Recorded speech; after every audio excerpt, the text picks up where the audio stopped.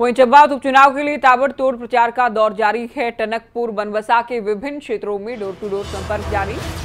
Bike पर निकले CM Dhami bike से जनता से संपर्क करते नज़र आए।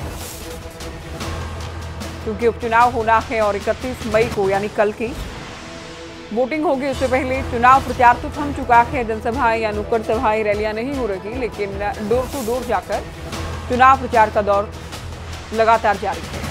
सीएम धामी को आप देख सकते हैं, बाइक पर सवार हैं, खुद की बाइक राइड कर रहे हैं और जनता से वोट की अपील वो कर रहे हैं। तो घटीमा से चुनाव हारे थे, लेकिन चूँकि सीएम बने और छह महीने के अंदर विधानसभा सदस्य रहने के लिए आप जानते हैं कि इन्हें विधायक बनना होगा। सीएम रहने के लिए इन्हें विधायक ज़रूर बने रहना होगा। तो छह महीने का समय और इस बीच उपचुनाव कराए गए हैं। उपचुनाव कल होने हैं और तीन तारीख को चुनाव परिणाम आएगा। उससे पहले चुनाव प्रचार का डोर टू डोर चुनाव प्रचार का ये दौर जारी है।